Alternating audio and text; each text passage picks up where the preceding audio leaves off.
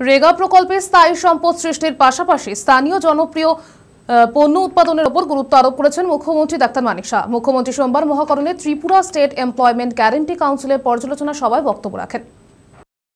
রাজ্যের বিভিন্ন গ্রাম পঞ্চায়েত ও ভিলেজে এমজিএন রেগায় স্থায়ী সম্পদ সৃষ্টির পাশাপাশি স্থানীয় জনপ্রিয় পণ্য উৎপাদনের উপর গুরুত্ব দিতে হবে। রাজ্যের জেলাগুলিতে যে সমস্ত পণ্য জনপ্রিয়, উৎপাদন বেশি হয়, সে সমস্ত পণ্য চাষের সংশ্লিষ্ট জেলাগুলিতে গুরুত্ব দিতে হবে। তাতে প্রধানমন্ত্রী নরেন্দ্র মোদীর ওয়ান ডিস্ট্রিক্ট, ওয়ান প্রোডাক্ট কর্মসূচিও কার্যকর করা সম্ভব হবে। সোমবার সচিবালয়ের দু নং সভাকক্ষে ত্রিপুরা স্টেট এমপ্লয়মেন্ট গ্যারান্টি কাউন্সিলের পর্যালোচনা সভায় মুখ্যমন্ত্রী প্রফেসর ডক্টর মানিক সাই কথা বলেন।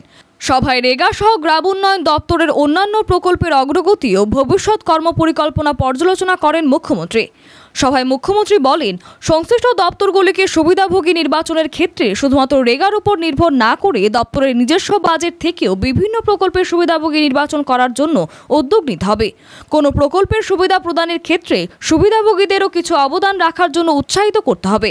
রেগায় স্থায়ী সম্পদ তৈরি করার ক্ষেত্রে সঠিক সুবিধাভোগী নির্বাচনে প্রাধান্য দিতে হবে, যাতে তা সঠিকভাবে রূপায়ণ করা সম্ভব হয় এবং স্থায়ী হয়।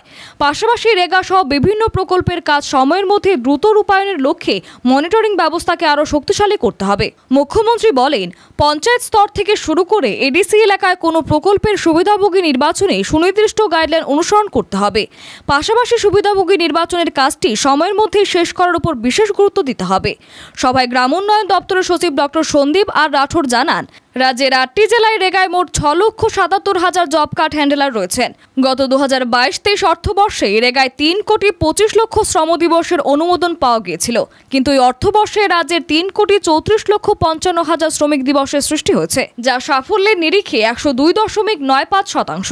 ত্রিপুরা স্টেট এমপ্লয়মেন্ট গ্যারেন্টি কাউন্সিলের সভায় মুখ্যমন্ত্রী ছাড়াও সমবায় মন্ত্রী শুক্লাচরণ নোয়াতিয়া, বিধায়ক প্রমোদ রিয়াং, বিধায়ক রঞ্জিত দাস, বিধায়ক কিশোর বর্মন, বিধায়ক অন্তরা দেব সরকার, মুখ্য সচিব জে কে সিনহা প্রমুখ উপস্থিত ছিলেন। Bureau report, Agartala TV.